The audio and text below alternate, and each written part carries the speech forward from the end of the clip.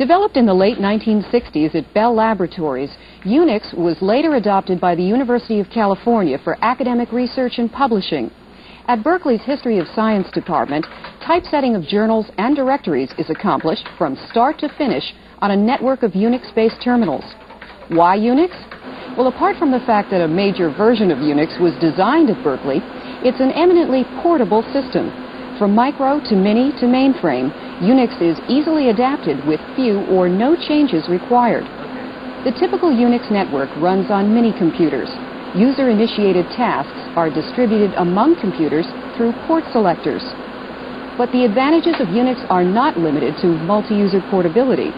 The system is also fast and powerful. Once the user has mastered its unorthodox commands, he's rewarded with some very sophisticated features, like background processing. After initiating a task, the user can go on to another one while the system continues to work on the first. Surrounding the kernel of Unix is a shell or central command interpreter that redirects application input and output, manipulates files, and stores command sequences.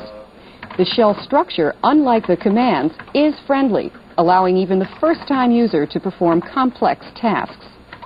Unix users give the system high marks for its versatility. Yet up until now, it's been largely confined to a small group of specialized users. It has proven itself to them.